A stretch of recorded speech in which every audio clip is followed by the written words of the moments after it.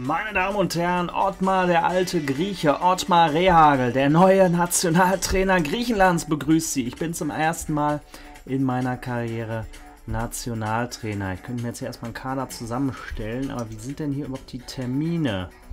Freundschaftsspiele, muss ich die erstmal ansetzen oder am 15.10. können wir eins vereinbaren? Da wähle ich einfach mal als Gegner, kann ich da frei wählen, Montenegro, Kongo, England, Okay, man hat nur die drei zur Auswahl. Dann starten wir doch einfach mal mit dem Knaller hier. Football's Coming Home gegen England und dann an Heiligabend ein Spiel gegen Jamaika. Können wir ordentlich einen durchziehen. Und dann am 28.01. spielen wir gegen, äh, gegen Nigeria. So, die Spiele setze ich einfach mal an. Es war ja gerade sowieso erst Weltmeisterschaft. Dann wird wahrscheinlich irgendwann die äh, EM-Quali kommen, oder? Einbürgerungsgespräche kann jetzt erstmal den KFC Uerdingen hier griechisch machen, oder wie? So, ähm, ja, wir müssen uns auf die Saison vorbereiten. Also, Nationalmannschaft werde ich dann erst im Oktober haben. Vorher, wir müssen unbedingt die Champions League Quali natürlich erfolgreich bestreiten. Auch mit griechischem Schwerpunkt gegen Ares Thessaloniki. Ich muss zum ersten Mal in meiner Karriere in die Champions League. Ja, in meinem Alter hier noch ein Novum nach dem anderen. Da machen wir auch einfach mal ein Trainingslager Griechenland ist hier gar keine Option. Hm, gehen wir einfach mal in die Karpaten ins Waldhotel. Nein, nee, das ist mir zu spartanisch. Wir gehen jetzt einfach mal zu den tibetanischen Mönchen hier. Hier, meine lieben Damen und Herren. So, ein Hallenturnier im Sommer machen wir auch. Gegen Düsseldorf, Viktoria Köln, Magdeburg, Berliner AK, Haiger, HS war zwar Uerdingen und Augsburg. Nein, so Freundschaftsspiel gegen die Liebe. Und ein Freundschaftsspiel international.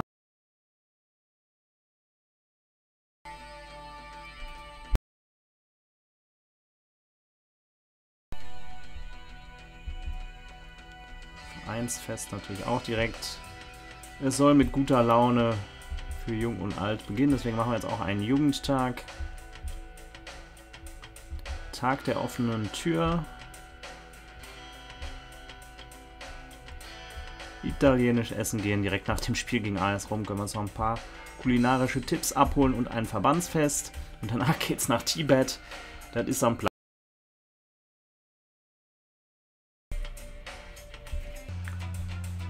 Jo. Kadertechnisch müssen wir gucken. Vier Torhüter. Svanberg, Striso, Stanisavljevic, Uizalo. Der ist noch zu jung und noch zu grünschnebelig. Der wird ausgeliehen. Er ist ein großes Talent. Deswegen ohne Kaufoption. Große Talente hätte ich gerne zurück. So, wir haben einige Abwertungen bekommen, sind aber dennoch ziemlich stark. Kedira, für ihn kommt das wahrscheinlich auch noch zu früh. Mittleres Talent. Ihn leihen wir dann aus. Ne, er hat einen auslaufenden Vertrag. Komm, den verlängern wir da mal. Wir ziehen die Option. Er ist ja noch so jung. Dann möchte ich ihn jetzt nicht einfach hier schon einfach so ziehen lassen. Aber mit Kaufoption gehen, tun wir ihn mal auf die Leihliste. Ähm, rechten Mittelfeldspieler werden wir brauchen. Maximovic, der ist schon fast kadertauglich. Wir werden ja auch auf drei Hochzeiten tanzen, auch wenn die erste Runde im DFB-Pokal mal wieder maximal schwer hier ausgelost wurde gegen Eintracht Frankfurt.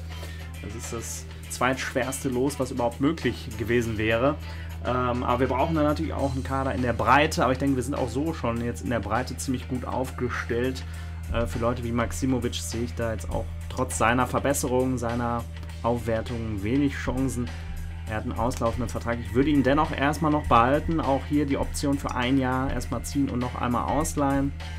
Möchte er nicht. Wenn er das nicht möchte, dann kann er auch gleich, obwohl wir haben ja nur einen Sechser sonst. Ich behalte ihn dann erstmal wir gucken mal. So, Schaschenko behalte ich auch erstmal. Den jungen Diaye behalte ich aber erstmal nicht. Der ist ein mittleres Talent. Der geht auf die Leihliste. Er ist nicht bereit. Und wenn er nicht bereit ist, dann geht er auf die Transferliste. Weil ich kann jetzt hier nicht jeden behalten. Und der Maximovic ist zumindest schon näher dran am Kader. Ach komm, ich tue ihn auch erstmal auf die Transferliste. Das heißt ja nicht nur, weil wir ihn auf die Liste setzen, dass er auch direkt äh, jemanden findet. So, der Verteinen ist hingegen, genau wie der Stanislavljevic, zu einem vollwertigen Kadermitglied aufgestiegen. einen rechten Mittelfeldspieler bräuchte ich noch möglichst einen starken.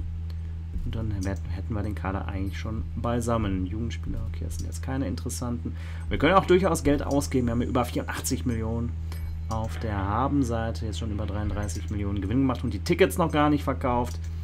Der Mann des Volkes hat ja hier die Ticketpreise auch nicht erhöht.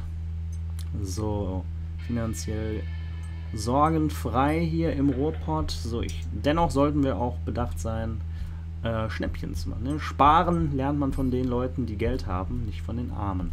So, deswegen ähm, wollen wir jetzt auch weiterhin hier die Schnäppchen suchen. Ähm, ja, Zappa, das ist noch der, geht noch als ehes, am ehesten als Schnäppchen durch, weil er ja 13,7 Millionen Euro Ablöse, aber er ist mehr als das doppelte Wert. Den fragen wir einfach mal. Ist eine Kämpfernatur, ein deutscher Spielmacher, 28 Jahre, rechtes Mittelfeld, großes Talent, guter Name auch, hat mal bei Schalke gespielt, kommt von Nürnberg 2 ursprünglich, kann auch gut Spielmacher sein. Den fragen wir einfach mal. Und dann wäre unser Kader eigentlich schon beisammen.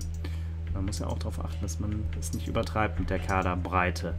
Ähm, Sondertraining. Da kann der Swanberg erstmal raus. Da kann eigentlich erstmal.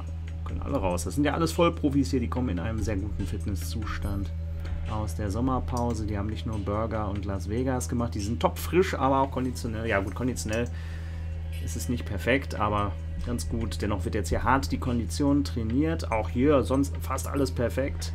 Nur die, ja.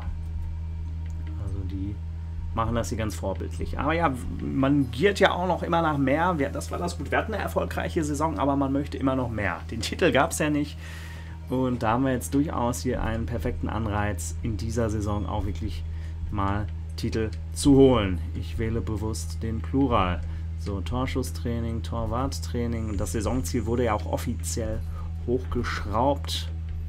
Ähm, das heißt ja nicht, dass ich mich hier unter Druck setzen lassen muss. Ich habe noch über, ja, ich habe noch knapp zwei Jahre Vertrag. Habe jetzt auch noch einen zweiten Job hier neben Gig. Ähm, da kann ich das jetzt ganz entspannt angehen. Keine Verletzten, allerdings ist Simon immer noch vier Spiele gesperrt. Wir führen Einzelgespräche mit diversen Persönlichkeiten hier. Die meisten Leute kenne ich ja, es sind zwei Leute gegangen.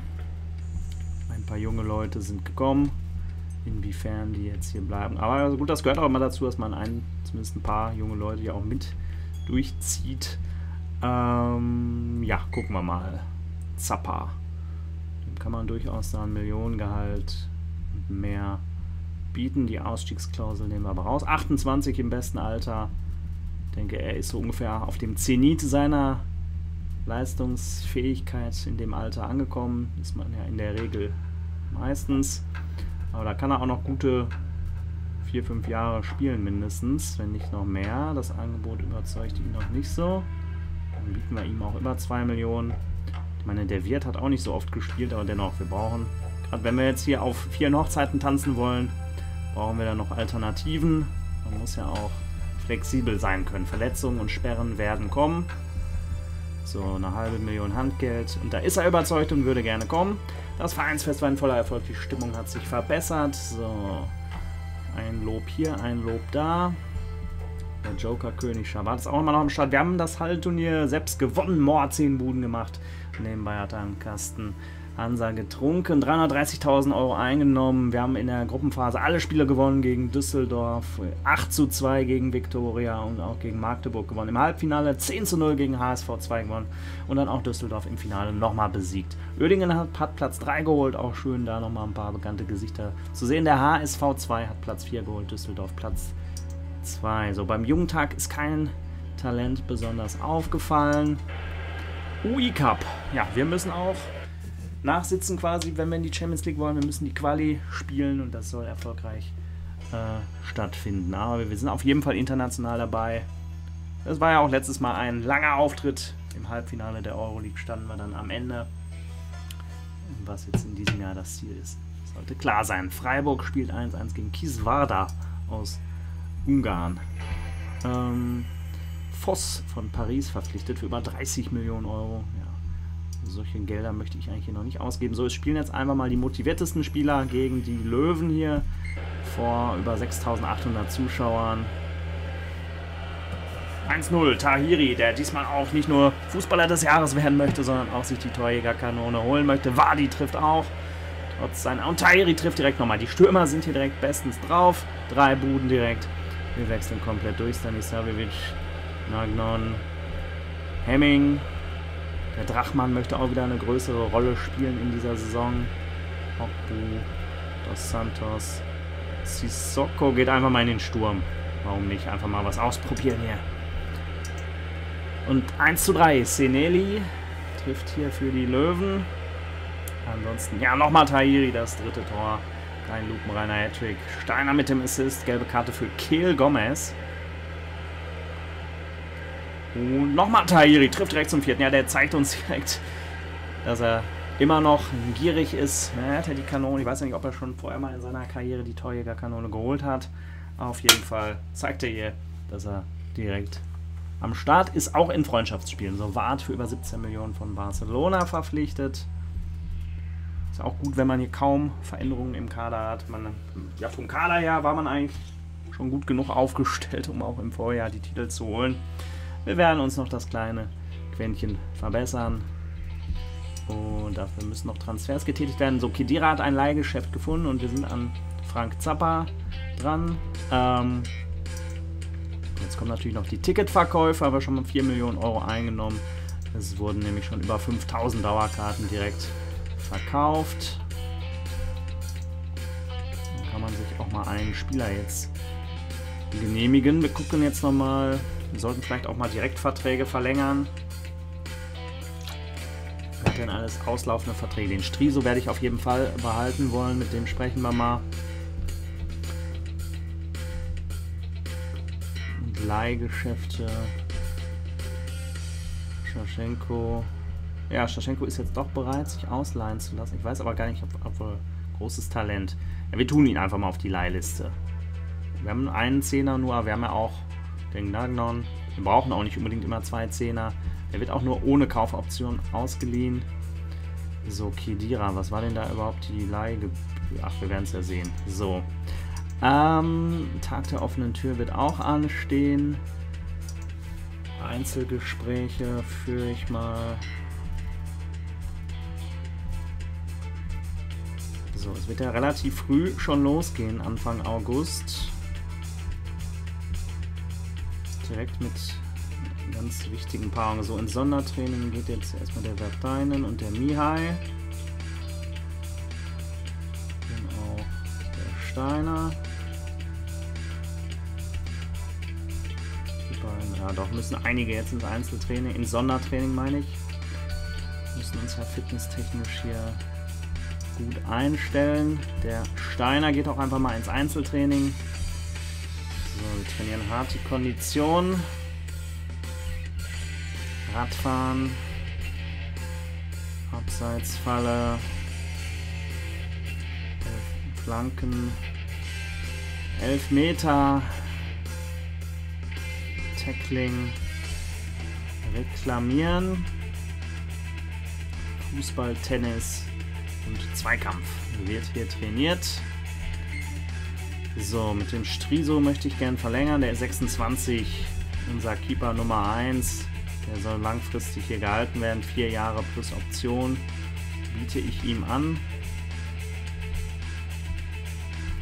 Ja, und er verlängert auch ohne zu murren. Der Tag der offenen Tür war ein großer Erfolg. Es kamen sehr viele Fans. Kedira geht. Da muss er ja im Prinzip gar nicht umziehen. Das ist ja sehr in der Nähe. Maximovic muss seinen Zivildienst antreten. Er wird sich also im nächsten Monat nicht voll auf den Fußball konzentrieren können. Und wir sind an Zappa dran. Das sieht alles gut aus. Aber West Ham United möchte ihn behalten und bietet mehr. Dann müssen wir auch nochmal nachlegen. Dann steigen sie aus und er kommt für 13,69 Millionen Euro. Das ist einer der höchsten, eine der höchsten Transfersummen, die ich seit langem bezahlt habe. Aber wir haben ja gesehen, knackt mir schon der Stuhl. Ähm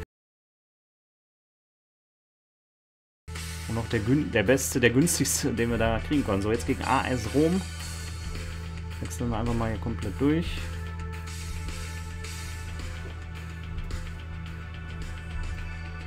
Der Zivi hier, der, der kann auch eigentlich Zivildienst bei mir machen. Ich bin auch mittlerweile auch in dem Alter, wo ich äh, durchaus mal Unterstützung äh, gebrauchen könnte. Zivildienst bei Ottmar Schulz. Der Zapper kommt direkt zu seinem Debüt, wird direkt reingeschmissen hier.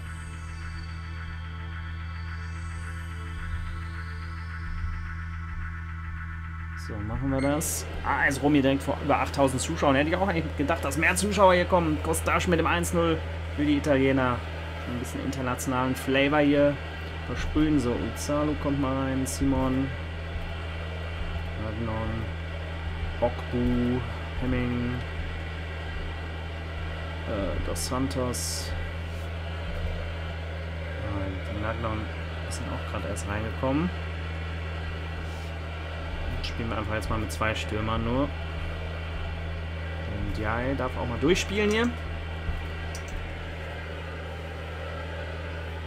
Passiert hier noch was? Es passiert nicht viel. Und ja, Zappa mit seinem Debüt. Wir verlieren allerdings 0 zu 1 gegen die Römer. Zappa, das steht sogar hier im Fußballmagazin für über 13 Millionen Euro. Verpflichtet beim Trainingsspielchen kommt es nach mehreren Rüdenfouls der B-Mannschaft zu einem Krach innerhalb des Teams. Die Stimmung sinkt um einen Punkt. Das Essen beim Italiener war auch sehr lecker. Fernsehbilder beweisen, dass ihr Co-Trainer Mike Terranova beim letzten Spiel sich ein kleines Nickerchen gegönnt hat. Das ist natürlich tödlich für sein Image und er verliert einen Trainer. Boah, Leute, scheiß doch drauf, was die Presse sagt. Meine Güte, der Mike, ist ein anständiger Junge. Ich kenne ihn jahrelang. Äh, er hat immer. Er hat immer. Äh, sehr viel, sehr hart gearbeitet. Dann kann man sich auch mal einen Moment der Ruhe gönnen, auch wenn das natürlich nicht der perfekte Zeitpunkt war. Aber ich werde ihm da jetzt keinen Vorwurf machen. So, ähm, Freiburg gewinnt letztlich mit einem Sieg und einem Remis gegen Kiswada durch und spielt jetzt gegen Ross County Würzburg gegen Danzig. Ähm, West Ham United, wo wir gerade eingekauft haben, ist auch im, im UI-Cup dabei. So, ein gelungenes Fest. Viele alte Freundschaften wurden beim Glas erlesenen Weines erneuert. Man versteht sich einfach, sitzt letztendlich bei aller Konkurrenz doch im gleichen Boot. So, Kedira geht auf Leihbasis nach Münster. Wir verpflichten Alexander Zappa. Ansonsten stehen hier keine Verpflichtungen. Also wir haben den Rekord für den teuersten Einkauf eines Spielers verbessert. Ja, das ist jetzt aber mit Sicherheit nicht BVB intern. Beim BVB hat man sich ja schon mal solche Summen ausgegeben, oder? So, 360.000 Euro haben wir für die Leihe von Kedira kassiert. Wir haben jetzt in der letzten Woche 11 Millionen Euro Minus gemacht, haben aber natürlich auch weiterhin Tickets verkauft, Dauerkarten, haben jetzt schon fast 10.000 Dauerkarten verkauft. Es war jedes Spiel ausverkauft in der vergangenen Saison. Ich glaube auch international, oder? Das kann gerne so bleiben. So, dann bin ich jetzt eigentlich mit dem Kader schon einverstanden. Ich würde vielleicht jetzt, ja, wie gesagt, noch einen ausleihen oder den einen oder anderen. Aber Leute kaufen müssen wir eigentlich nicht. Klar, man kann immer noch besser werden, dann kann man sich einen 12er statt einen 11er oder was holen. Aber ich denke, ich arbeite mit den Leuten, die ich kenne. Und wobei, wir haben nur drei Innenverteidiger. Aber dafür haben wir halt das Silver Verteinen, die können auch Innenverteidigung. Steiner und Udali können auch Innenverteidigung. Ich denke, das passt so. Das passt so. Wenn jetzt schwere Verletzungen oder lange Sperren kommen, dann kann man sicher noch reagieren. Wenn der Saisonstart in die Hose geht, kann man sicher auch noch reagieren. Ähm, aber ich denke, ich würde jetzt erstmal mit dem Kader so arbeiten. So, dann hier Sondertraining doch bei einigen. Ist nötig. Das Einzeltraining geht mal Udali. Und wir sind jetzt in Tibet. Da wird brutal Kondition trainiert. Einzelgespräche. Ja, die Mönche, die sind wahrscheinlich so ähnlich wie die Druiden. Auch nicht immer so die gesprächigsten. Äh, dann werde ich hier lieber besonders viel sprechen. Müssen noch Einzelgespräche führen. Ja, dass der Da Silva auch abgewertet wurde, ist schon ärgerlich. Aber er ist ja eh ein Mann, der nicht unbedingt immer zur ersten Elf gehört. Aber auch wichtig, solche Leute im Kader zu haben, auch für die Flexibilität, dass man überhaupt Libros hat. Ich denke, der Verteinen, der wird jetzt bald offiziell als Linksverteidiger gelten.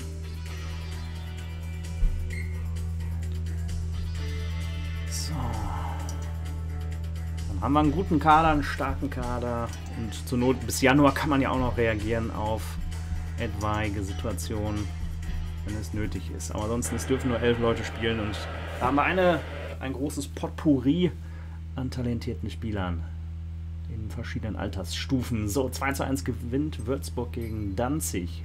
Freiburg gewinnt 5-1 gegen Ross County. Die können das Ticket schon fast lösen. Völlig losgelöst von der Erde. Also Sissoko kriegt ein Lob. Simon kriegt auch ein Lob. Die Mönche schweigen.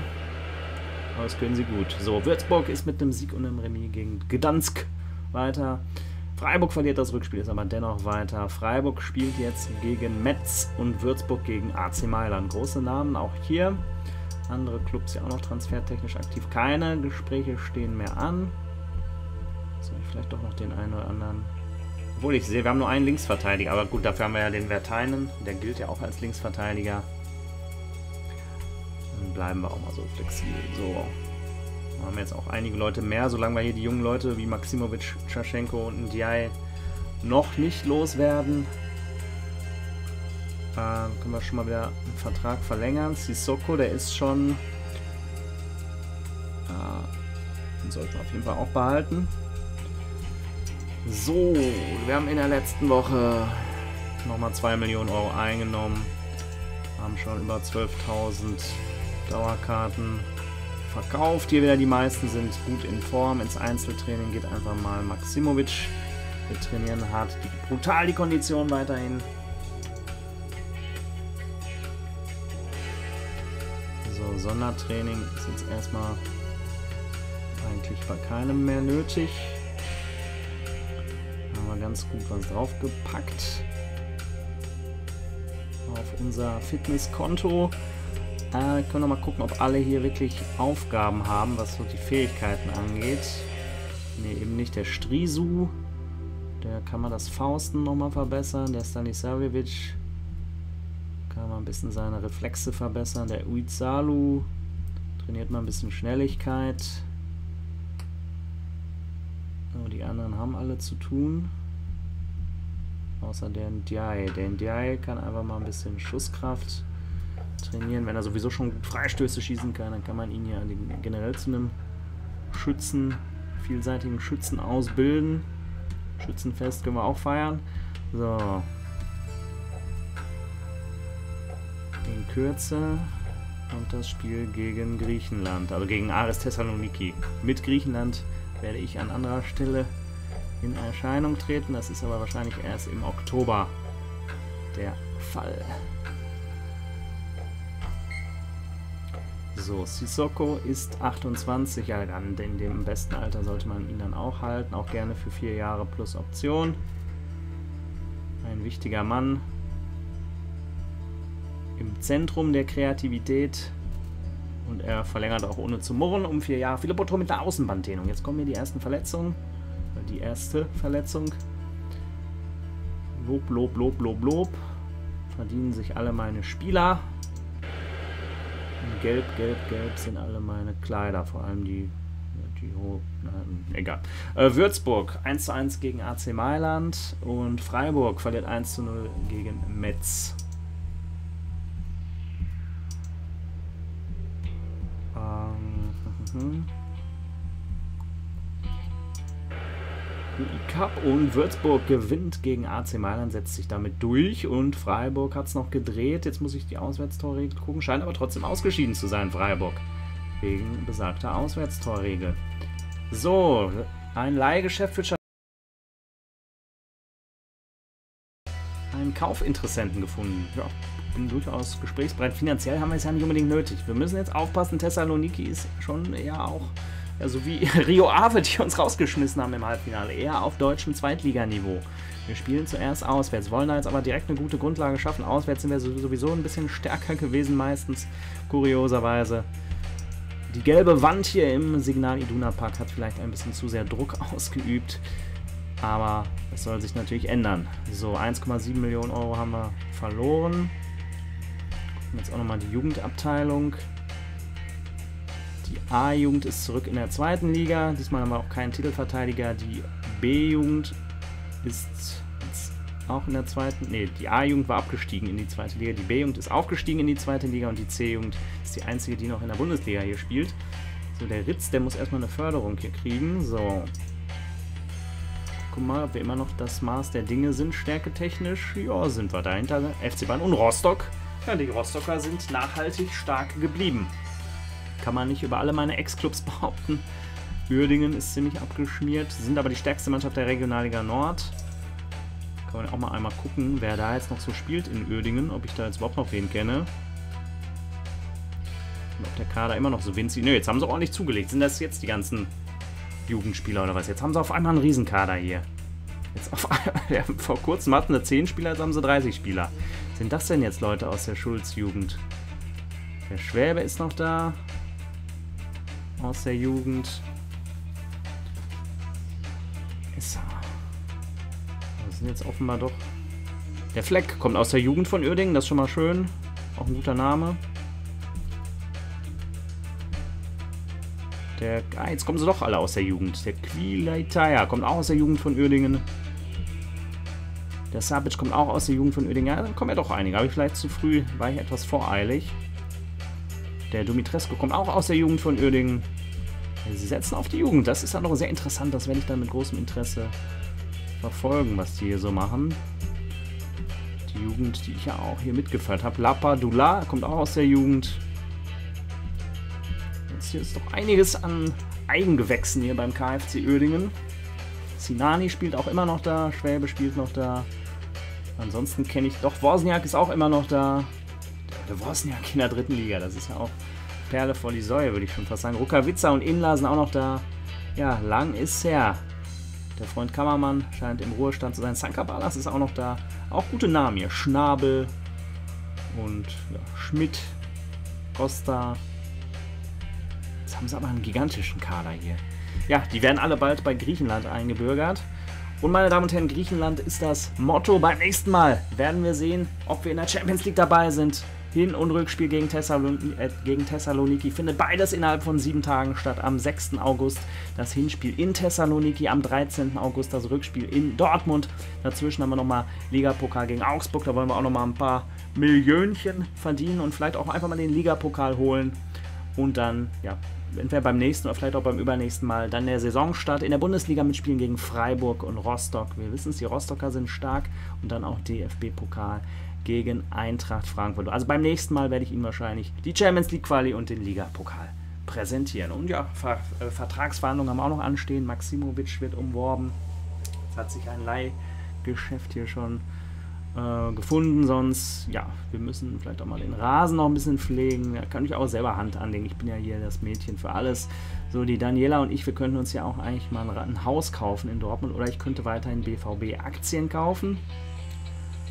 Da ist doch wahrscheinlich wieder einiges zu haben hier. Wie viel werden denn da immer angeboten? Ich könnte, ich könnte noch, noch mal für über 600.000 Euro Aktien kaufen. Das mache ich vielleicht beim nächsten Mal. Ich sehe Sie dann beim nächsten Mal und dann wollen wir in die Champions League einziehen. Lassen Sie gerne ein Abo, einen Kommentar oder dergleichen da und drücken Sie uns die Daumen. Ich sehe Sie dann. Tschüss, machen Sie es gut. Ihr alter Grieche Ottmar Reakles.